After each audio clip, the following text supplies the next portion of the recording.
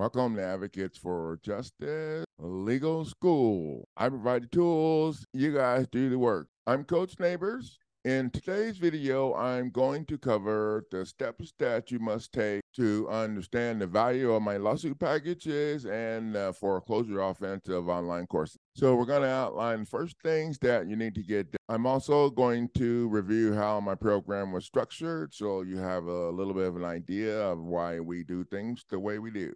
So let's just get started. I think probably the most important thing is how the program was structured um, so people can understand uh, what we're going to be talking about in the end. So my program was structured based off of real-time feedback from team members in my foreclosure rescue Facebook page. Now that page I'm about to turn into uh, the study page for the people that have invested into uh, a lawsuit package or the online course um, any of my products. And that way we can have a place where the only people here are people who can prove that they invested in the program and we'll be able to and that and that page is private so that's going to be the foreclosure rescue page i'm probably going to change the name on it and we'll get to all of that a little bit later so the people in that in that page there's 600 and something people uh, in that page right now um, those people, a lot of those people helped provide a real-time feedback about how the bar members um, eh, were trying to skate the issues that we had in the lawsuit. So that real-time feedback that was provided by the different Facebook pages and groups, members, uh, and what have you allowed us to make changes to the package, to the documents, allowed us to make changes to the entire program. And and this business is structured, and this is why um, you know, it's not, it's more important to exhaust your resources before you communicate with me, especially calling me. This business is structured operate without me around. And that's the way that I have it set up. The training videos for the instructional videos for the training are posted on on the YouTube channel. Um, the the training videos teaching you how to do all other kind of things or that we've learned along the way are also posted on my YouTube channel free of charge for people um, to go and study. Now, I structured this legal school so team members could go uh, and read about the products on my website at winincourtnow.com. Go there and read the description about the products. You can scroll down on my website uh, to the most asked questions and answers section and see how we do things. You can scroll down even further and see some of the older reviews. I haven't posted some, I have some new ones. Uh, and you can check out those reviews. You can also study the instructional video for the lawsuit packages that are on my YouTube channel. It's always best to start out with the updated instructional video or, or anything updated that you're looking at because those updates are changes that we made based off of feedback that came in from people using uh, using our stuff. So there is a updated instructional video in the instructional video playlist. And if you're facing a court, a state court process, I would suggest that you uh, that you watch that video first, ASAP.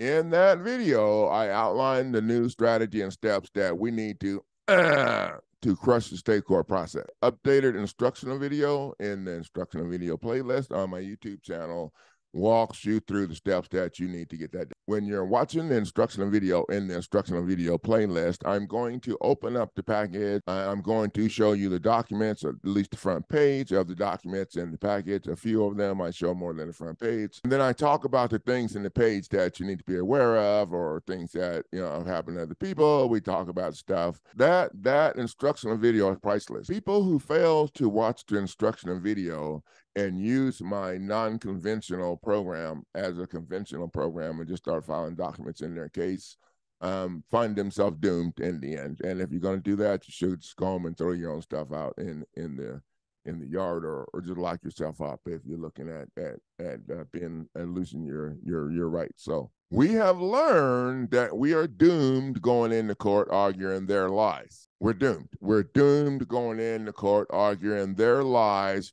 when the day-to-day state corporation processes and procedures violate your due process. So if your due process is getting violated at the gate, and when I say gate, I'm talking about when they didn't deliver your property deed to you as mandated by their by their state law.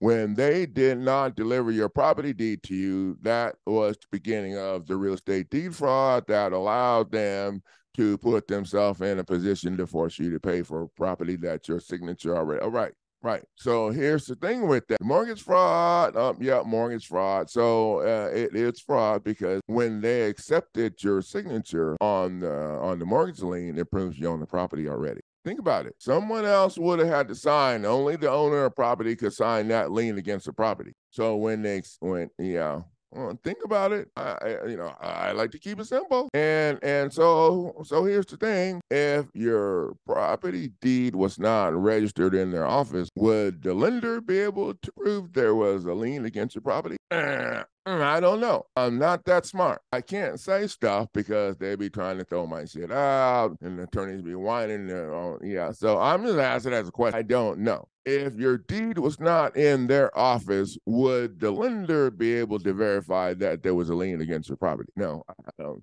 most people don't realize that that that first lien that was placed against your property was illegal uh, because uh, everyone uh, that owned that property had to be there to sign the lien, right? Yep. So when they accepted your signature on there, you own the property. When they, I'm just saying, I'm not that smart, but think about it. So if your property deed is not in their office, could they could they verify that you you know it could could this be a way to challenge your mortgage lien before you're in default?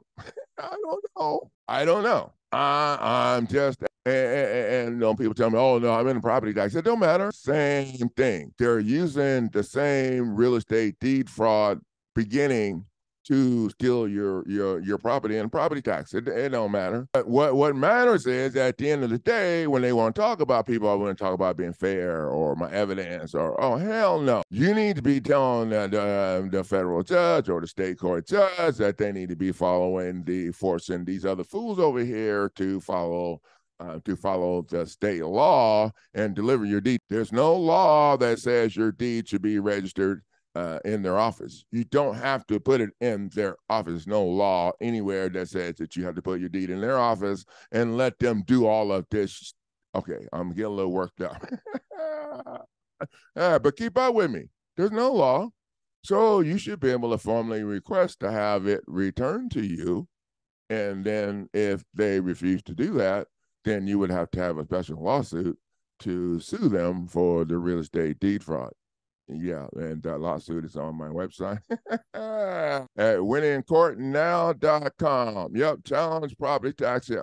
Yep, we provide the formal letter letting the parties know that here's the problem and uh, let us know when you can uh, deliver my deed to my house so I can be home.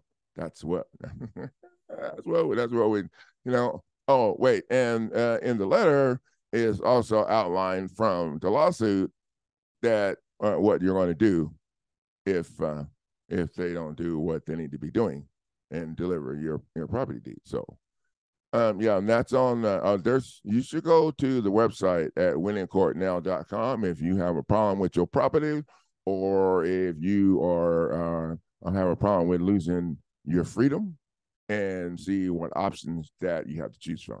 The most popular package is on my website, obviously, uh, if you can't figure it out, are ones that cost the most money. So that's pretty much the way it is everywhere. Uh, but the one that's most popular are the 42 USC 1983 foreclosure offensive, and then I have one for criminal issues, or I think I have two for criminal issues. Uh, and you can go and check the difference of them out. The main thing is that we are no longer arguing their lies in court. We're no longer arguing their lies in court. And what we're doing now is uh, we've learned how to address uh, your due process violation. We're doomed when we argue their lies in court when the day to day state court corporation, state corporation process and procedures violate your due process. Well, you know, and most people, well, what the hell? What the hell is my due process? Well, you know what? I Googled it and pulled it up, and I'm like, yeah. So we're going to talk about that for a sec. These rights, which apply equally to civil due process and criminal due process. Now, you have a right to have an unbiased tribune. For those of you may know what that means, that means to have a court that's unbiased. Did you get that?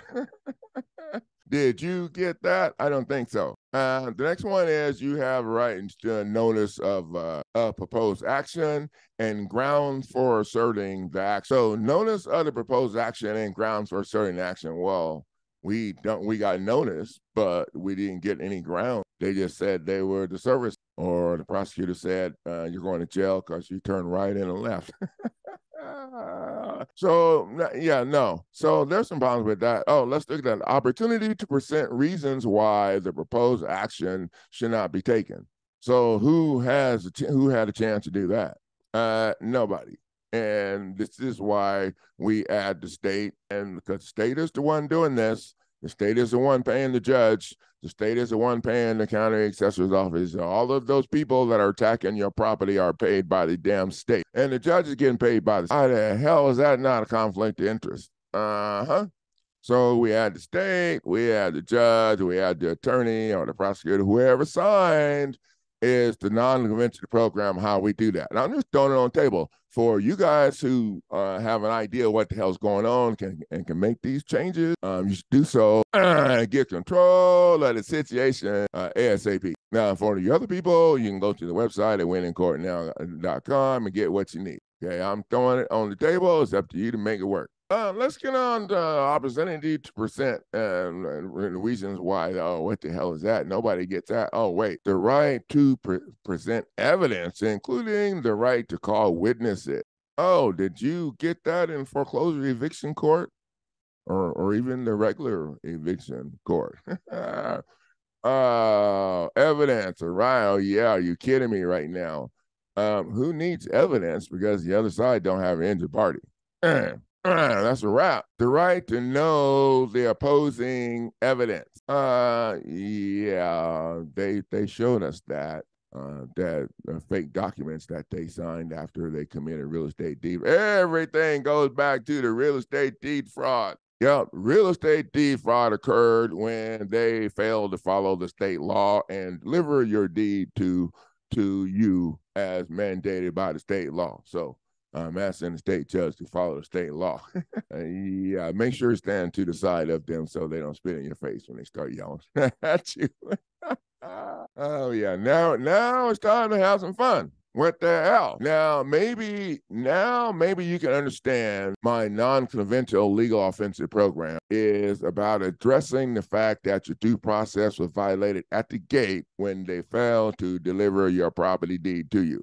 So you can you can start your lawsuit in the middle of all of that big old pile of stuff. You know, you know kind of stuff I'm talking about, or um, you can hold the parties uh, responsible uh, uh, at the gate, and we're talking holding them responsible for for the illegal process and procedures that they put you through to get you to the edge of the cliff now so the judge can rule. Everybody wants to argue case law and all that shit. Dude, that's the way. Are you kidding me right now? It ain't about the case or a law, and it's their case law anyway. So it ain't going to do you no damn good because they're the ones that ruled on that crap.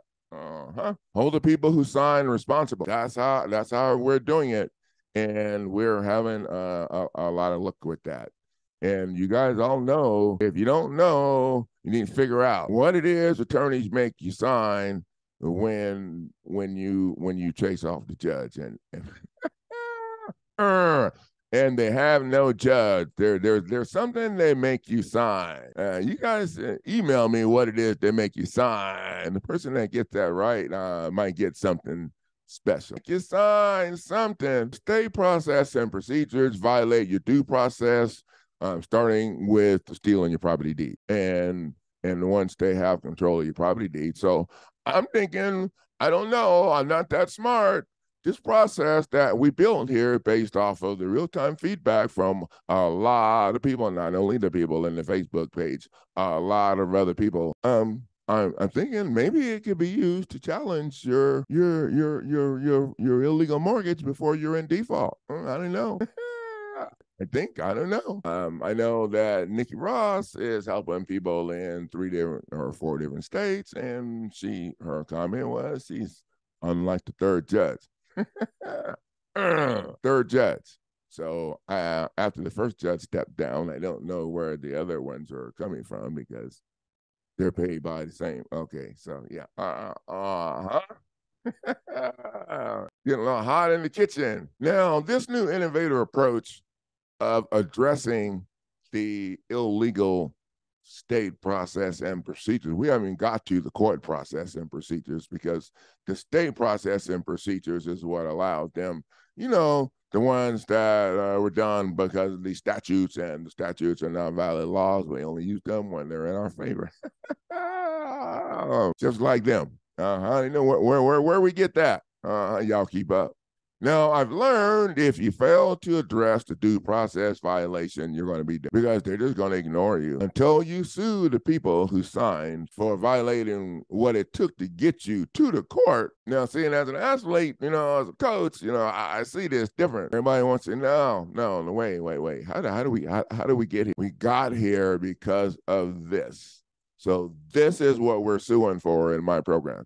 If you don't understand in my program, you're going after them for the illegal state process and procedures that got you to the court. If you don't understand that, uh, my program is probably not a good fit for you.